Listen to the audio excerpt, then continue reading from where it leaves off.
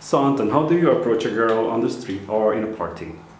Um, on the street, um, I go with some friends or alone, and uh, then I see a beautiful girl or a girl I uh, like to get to know, and um, then I go uh, one or two minutes with her, so a little bit in, uh, behind her Uh, are you saying that when you are alone or when you're with your friends?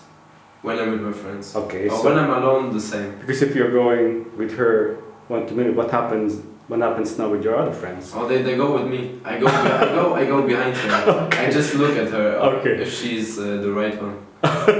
you understand? That's very good. Okay. And um, yeah, then when I like her or when I like her, uh, What do you mean? When when I, if I like her face, Okay. so if I, I think she's beautiful, Uh huh. then I go to her and uh, say, uh, "Hallo, wie- uh, hi, how are you?"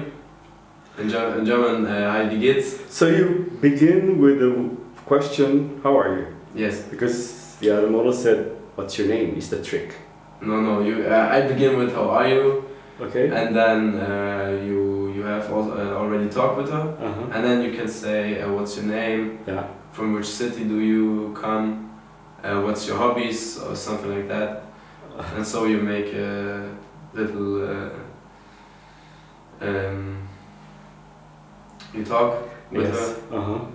and uh, then after five or ten minutes, if she likes you, you like her, then you ask after the number.